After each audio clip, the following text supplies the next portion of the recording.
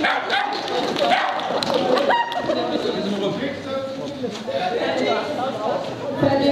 Fertig. Die Zeit 29,44 Sekunden, null Fehler.